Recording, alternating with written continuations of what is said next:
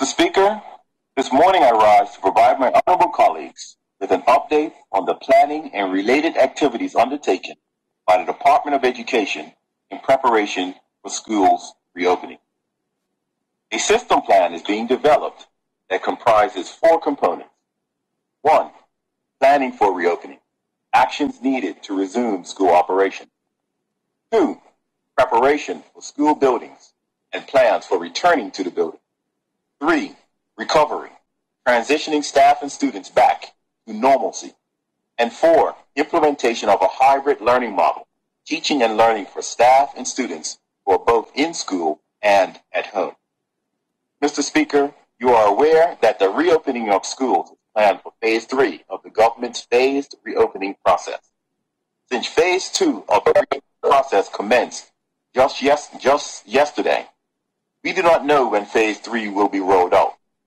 But what we do know is that a plan must be developed so we are positioned to receive our children back into our schools when the time comes. With this at the forefront, a collaborative effort involving technical officers at the department, school leaders from the preschool to the senior school level, and school staff via the principals instituted to obtain input and feedback for the framing of a system plan for reopening our schools. Mr. Speaker, just before the state of emergency was declared, all schools were officially closed. Officers in the Department of Education and the Ministry of Health and the Department of Environmental Health were working collaboratively, updating guidelines and procedures for schools to follow when dealing with a pandemic. This collaboration continued during the shelter in place by telephone conferencing and Zoom meetings that the health officers have played a pivotal role in providing expert guidance and support in developing safety and health protocols for schools. Their leadership, commitment, and technical support has been exceptional.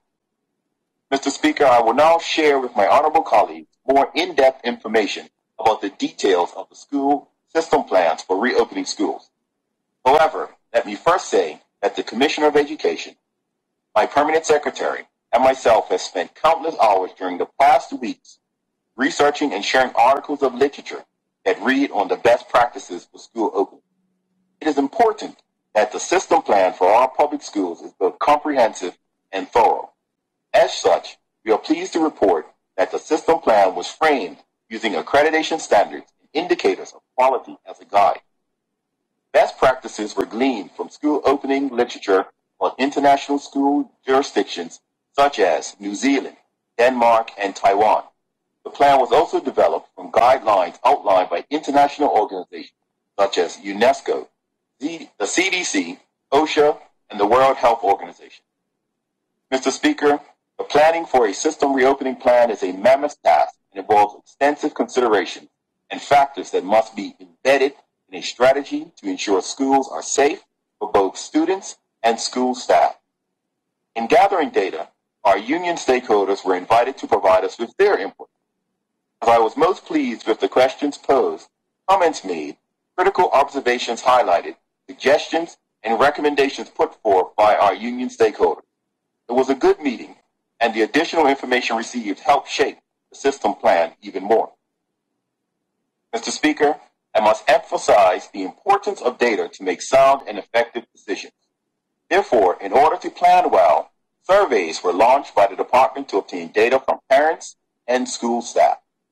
In light of COVID-19, we are cognizant that several students and staff may be at risk returning to school.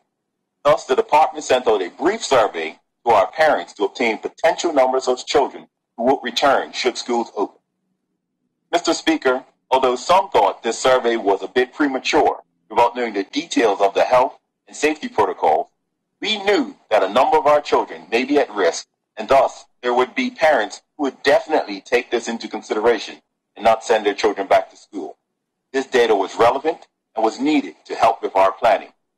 Similarly, Mr. Speaker, in order to determine what schools could reopen, the department had to assess staffing levels. School staff are asked to share if they deem themselves as vulnerable in alignment with the Ministry of Health guidelines. The data received from school staff thus far, although preliminary, allow for meaningful projections for potential school opening. Mr. Speaker, parents, guardians, school staff, the general public, and my honorable colleagues all want to know what the Department of Education is doing to ensure safety and health of children. Let's look at school building. The building, the department has factored in so many considerations as the safety, health, and well-being of students and staff are of paramount importance. When schools closed in March, our school custodians undertook thorough deep cleaning processes using a deep cleaning protocol guide. This was followed by an inspection check. Since March, custodians have been working in, our, in their respective school buildings three times a week to clean and ventilate the facility. During the week of May 4th, the, the custodians undertook another deep cleaning process of school, and inspections are presently underway. We are thankful for the work of the custodians who play an integral part in ensuring a safe school facility. When we are ready to reopen schools, our custodians will ensure the ongoing cleaning and sanitizing out the day of highly used surface areas in school. Mr. Speaker, other specific building protocols the department will be implementing include ensuring a current inventory of hygiene supplies at every school, posting of signs throughout school buildings, as reminders of physical distancing, student education on regular hand washing, assessing the layout of classroom spaces to determine maximum occupancy of students, and posting signs to remind students of entry and exit procedures. Mr. Speaker, survey results indicated that many parents want to know the details of safety and health protocol. I am pleased to report that the Department of Health has developed draft safety and health protocols for pre, primary, middle schools, and our School for Children with Special Needs, DAME. These protocols define the safety and health actions when students and staff first arrive on the premises. They stipulate how to drop off students at school if arriving by car or motorbike, how they walk up to the building entrance and prepare to enter the building with temperature taking and hand sanitizer stations. The protocol continues as students and staff move along hallways clearly marked, outline how students engage in learning in their classroom, sitting at their desks, the procedures to follow when using school bathrooms, during recess, snack, and lunch breaks, and outdoor play activities. These safety and health protocols, although prepared by the Department of Health, have been vetted by school principals and their school safety and health committees or COVID response teams. Mr. Speaker, these protocols were all pre-tested this week at a preschool, a primary school, a middle school, and our school for children with special needs Dame. I shared in my press conference on Wednesday that the pre-test team comprised of the following key stakeholders. Department of Education Technical Office, school principals for the selected schools, schools custodians and the BIU school custodian representative, Department of Health, Healthy School Office, and school nurses, the Bermuda Union of Teachers Safety and Health Committee representative. Mr. Speaker, the pre-test process was detailed and thorough. The safe and healthy protocols are generally all the same for schools with some differences for our younger children at the preschool and students at our special needs school, Dame. When the pre-testing of the protocols was undertaken this week, the team was provided with the different sets of protocols for each school as they walked through the school building and began to visualize what the practice actually entailed. There were close to 15 persons on the pre-testing team. Mr. Speaker, the team visited all buildings at each of the selected schools, all floor levels, and many classrooms. The team discussed areas such as which entrances the school would use as entry and exit doors. They discussed how hand washing hygiene would operate, bathroom protocols, physical distancing protocols, what surfaces would require the continuous cleaning and logistics for different classes. The pretest of the protocols was more exhaustive for our special needs school as the team visited the therapy room, multi-purpose room, the nurse's room, sensory room, time away room, all classrooms, and all bathrooms. The findings are now being collated and the data will steer what improvements must be made to finalize the protocol guidelines. Mr. Speaker, pre-testing of protocols will also need to be done for every school prior to schools reopening so that they are customized for approximately a particular school, or appropriately the particular school. Additionally, the department will undertake audits before any school reopens to ensure that all of the safety measures and protocols have been effective. It is our intent, is our intent to do what is needed So when the Ministry of Health advises that it is safe to reopen our school, then we are ready to receive our students, knowing that parents and guardians and school staff are assured it is a safe place for teaching and learning. Mr. Speaker, I also wanted to share more about teaching and learning for our students. Our stakeholders are aware that the current remote learning model includes online teaching, learning and services using a variety of applications and platforms, plus the provision of learning packets for students without devices. At the preschool level, students online individual learning with their teacher accounts for 30 minutes face time per day, while online learning with other students range from one to two hours per day. Our preschool teachers engage in online teaching with three to five students at a time. Teachers also pre-record themselves for students to revisit and reinforce concepts. Our teachers at the primary and middle levels are following the essential curriculum to be taught and will focus on teaching students the relevant curriculum standard. On average, our primary school students are spending nine hours per week engaged in remote learning with teachers. Our middle school students are engaged in four 40-minute face-to-face class via remote learning with their subject teachers and up to two hours of independent classwork via online platform. Our teacher and teacher develop assignments or tutorials for extra support. The time differs for work carried out with core and on-core teachers. Mr. Speaker, on Wednesday, I shared with the media and general public testament from one of our parents to the work that our teachers are doing.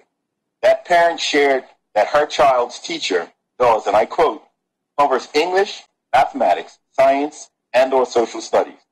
The teacher designs lessons and assignments to be interactive and engages with students through the use of various digital manipulatives and resources such as video storybooks, digital libraries, and STEAM experiments. End quote. Mr. Speaker, I encourage my honorable colleagues to read the testament from the parent as I included the full submission in my press statement.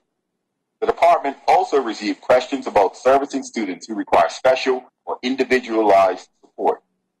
Students who require individualized services are students on an IEP or individualized education plan. Our learning support and specialist teachers, such as ASD teachers, who would normally teach and provide services for students when they are in the physical building, are now providing remote teaching and services to IEP students individually or in small groups. Mr. Speaker, last week I personally participated in a Zoom assembly at the Academy at the Heron Bay Primary School. Testimonials from both students and parents was moving. One parent was brought to tears on how well the remote learning was going for their child.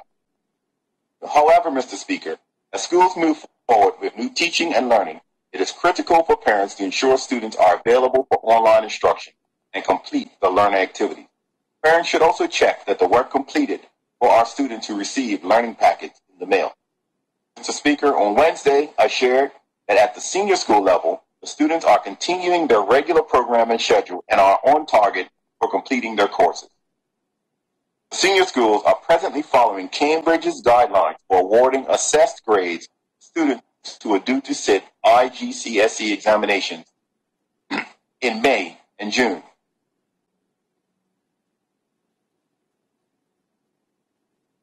Let me add that our primary and middle school students are being assessed on an ongoing basis using a variety of assessments.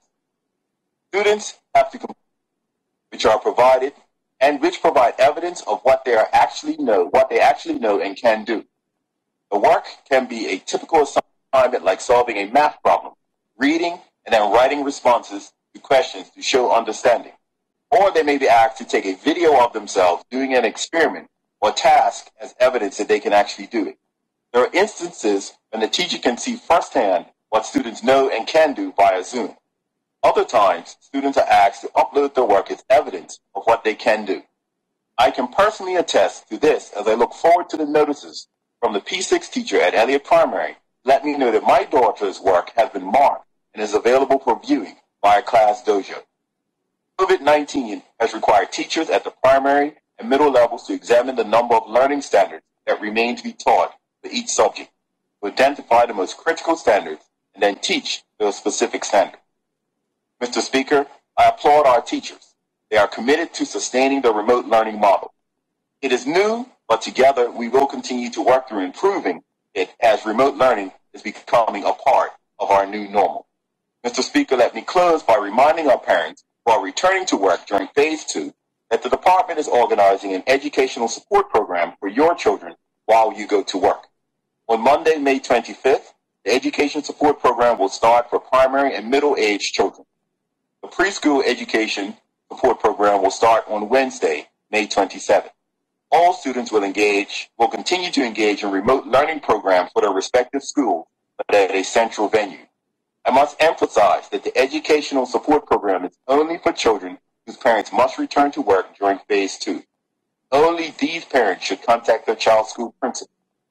Lastly, I want to assure our parents that physical distancing will be practiced at the educational support program, as well as implementing safety and health protocols stipulated by the Ministry of Health.